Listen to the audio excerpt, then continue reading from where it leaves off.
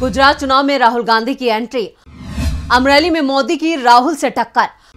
क्या कांग्रेस का गढ़ भेद पाएँगे पीएम मोदी? गुजरात विधानसभा चुनाव ने राज्य का सियासी पारा गरमा दिया है।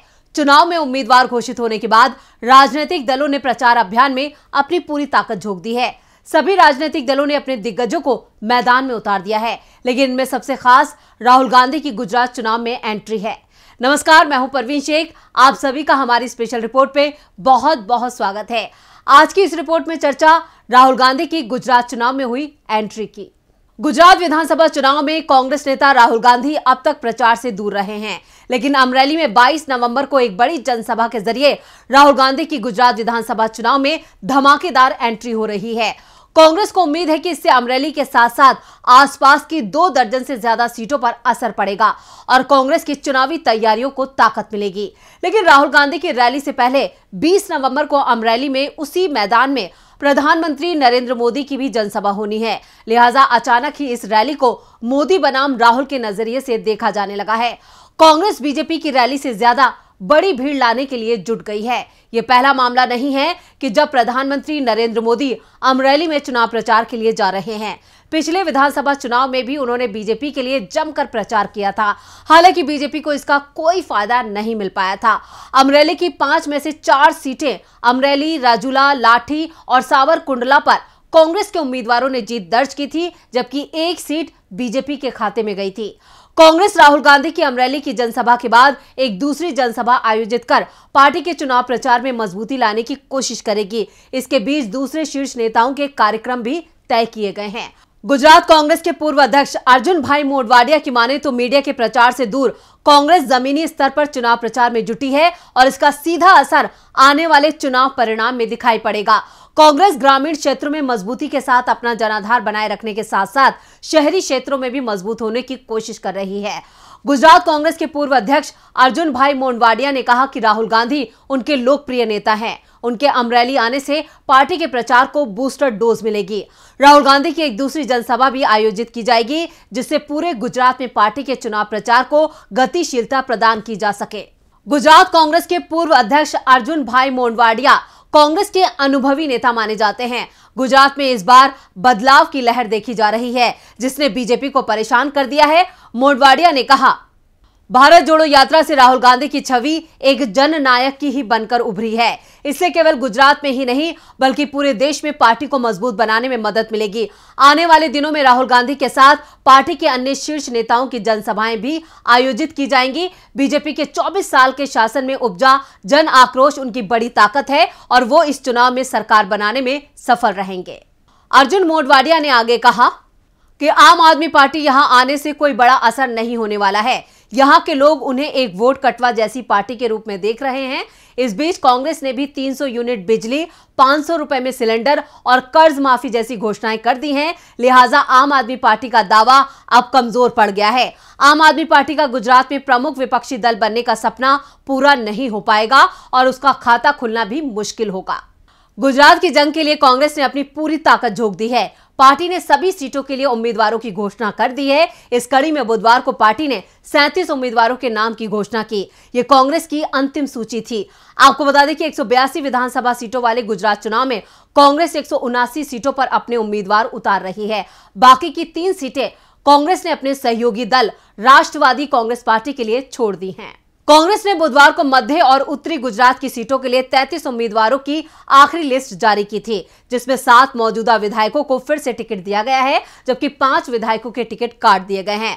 शंकर सिंह वाघेला के बेटे महेंद्र सिंह, जो पिछले हफ़्ते कांग्रेस में शामिल हुए थे, उनको अब बायस से चुनावी मैदान में उतारा गया है। राज्य युवा कांग्रेस के अध्यक्ष हरपाल सिंह चुड़ासमा धदुका सीट से विधायक राजेश भाई गोहिल की जगह चुनाव लड़ेंगे। प्रदेश कांग्रेस अध्यक्ष जगदीश ठाकुर के भाई अमृत भाई ठाकुर को उत्तरी गुजरात की काकरेज सीट से उतारा गया है।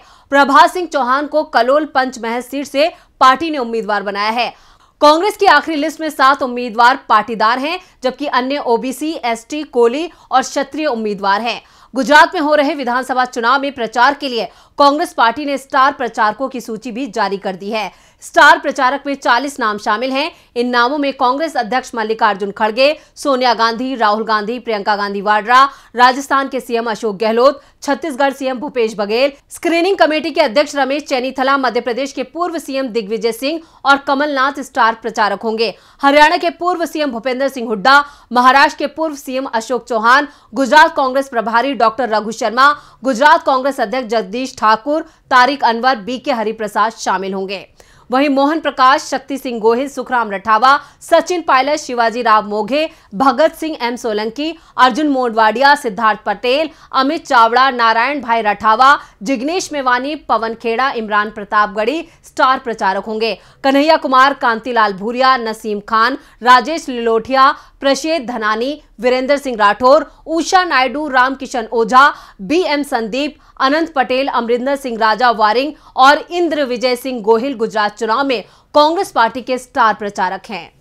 खबरों की माने तो राहुल और उनके सलाहकारों को लगता है कि भारत जोड़ो यात्रा का असर पार्टी के प्रदर्शन को बेहतर कर सकता है। साल 2017 चुनाव में राहुल ने हार्दिक पटेल, अल्पेश ठाकुर और जिग्नेश मेवानी के साथ यात्रा की थी और पार्टी ने अच्छा प्रदर्शन किया था। इस बार भारत जोड़ो यात्रा का असर कांग्रेस की मदद कर सकता है। इसको लेकर गुजरात में कांग्रेस के प्रवेक्षक, राजस्थान के सीएम अशोक गहलोत ने कहा।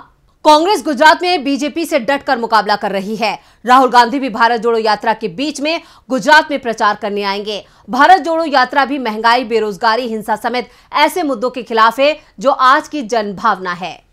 गुजरात में मतदान की तारीख अब धीरे धीरे नज़दीक आ रही है। ज़ाहिर है, मतदान की तारीख नज़दीक आने से चुनावी रण में कूदी सभी पार्टियों की धड़कनें तेज हो गई हैं।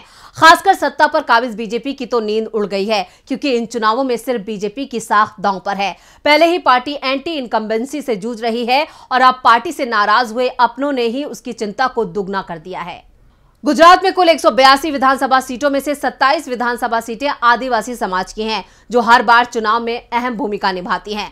चुनाव के परिणामों में इन सीटों पर अलग ही समीकरण देखने को मिलता है। साल 2017 के विधानसभा चुनाव में इन 27 आदिवासी सीटों में से सबसे ज़्यादा 17 सीटें कांग्रेस ने जीती थी। गुजरात में आदिवासी समाज की बात करें तो चुनावी मुद्दों में बेरोजगारी सबसे बड़ा मुद्दा है। इसके साथ स्वास्थ्य, शिक्षा, जाति प्रमाण पत्र न मिल पाना, पैसा अधिनियम जैसे अहम मुद्दे हैं जिन पर चुनाव होते रहे हैं।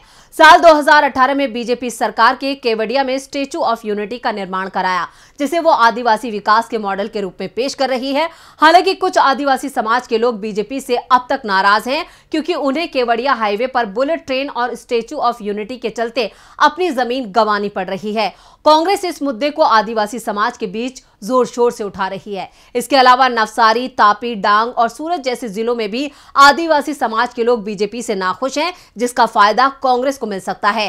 हालाँकि बीजेपी आदिवासी समाज के वोटरों को मनाने में लगी है। 6 नवंबर को पीएम मोदी ने वलसाड़ से पार्टी के अभियान की शुरुआत करते हुए कहा था कि उनके लिए ए मतलब आदिवासी समाज है। लेकिन उससे पहले राहुल गांधी ने आदिवासी इलाके में रैली को संबोधित किया था, जिसमें राहुल ने आदिवासियों को उनकी ज़मीन से बेदखल करने के मुद्दे को उठाकर उनके दिलों में अपनी खास जगह बना ली थी।